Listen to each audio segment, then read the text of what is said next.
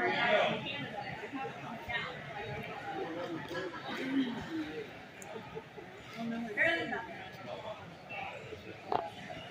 this, I got 21 and 22.